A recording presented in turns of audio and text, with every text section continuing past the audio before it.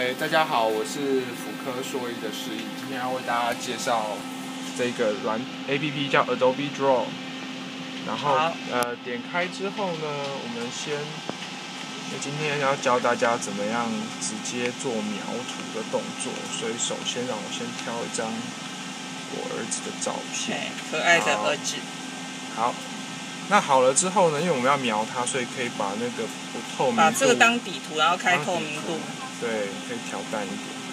好，OK 之后呢，我们就切到旁边这个绘图层，然后你可以选择，好，比如说我想要是黑色的。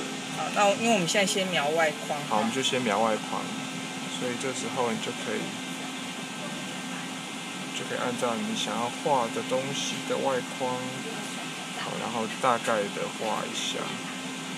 耳朵。你这支笔真的。对，这支笔是那个，它叫什么？很好的工具。对，它最近才刚出来的，所以就把边框稍微画一下。嘴巴。也会因为你的压力就线的粗细是不一样的。对对，它有压力感。OK OK。所以你看，好。好。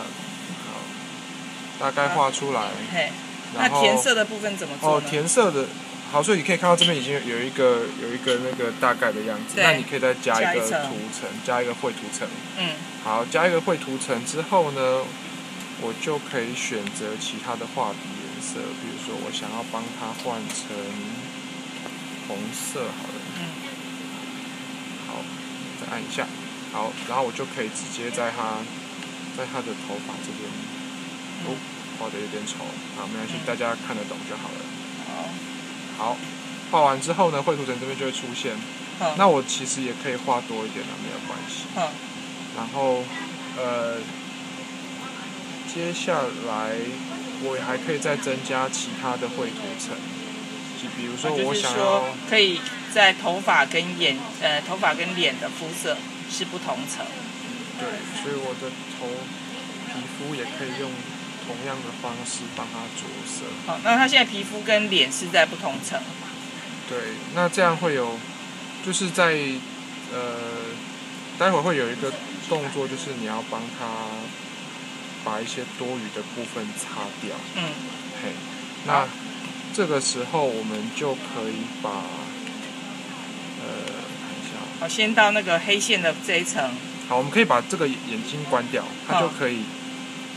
它就可以让我们看到哦，它有哪些地方其实已经涂涂超过了。嗯。然后我就可以再选择用橡皮擦。对，那橡皮擦我稍微用小一点点。嗯。好，就是你就可以直接在这边把你觉得多的地方。在这边可以开透明度，就可以看到了。对，就可以把眼睛关掉，就可以。它跟 Photoshop 的意思是一样，可是就是更更便利的，对，更直觉一点。好，所以我这样完成之后。我在呃，像这一层我这边已经完成了，然后接下来我就显示我刚刚头发有点画超过的地方，所以同样的方式，就我也可以把的头发稍微修一下。都修到黑线之内吗？可以修到我修到我们自己希望它在哪一个范围之内。多就是这个样子。好，假设我已经画完了，然后我再把大家的眼睛都打开来。好，就可以看到大概有一个框的样子哦。然后再把黑线移到最上面吗？我们最后把 A 黑线哦，这个是可以调的哦，这是可以拉的。哦，就是你可以把它在上面，然后我就在最后把影像图层关掉。关掉。就会得到一个儿子的。速写。OK，谢谢，好，谢谢诗意老师。谢谢，拜拜。